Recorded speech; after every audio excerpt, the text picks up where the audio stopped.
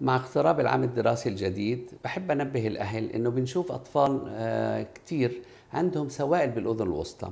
من أسباب هذه السوائل التهابات الأذن الوسطى اللي بتتكرر كثير عند الأطفال وحساسية الأنف اللي بسببها بترشح آه، سوائل بتروح عن طريق الأنبوب للأذن الوسطى وتضخم اللحميات.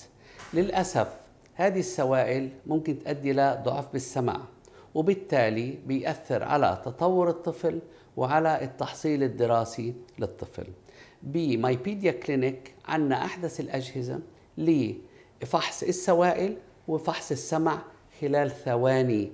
آه، بنكتشف بالتالي إذا الطفل عنده مشكلة ولا لا. فأنا بنصح الأهل قبل بداية العام الدراسي إنهم يعملوا فحص آه، للأطفال نتأكد إذا عندهم سوائل أو في أي ضعف بالسمع مع تمنياتنا لكم بعام دراسي سعيد.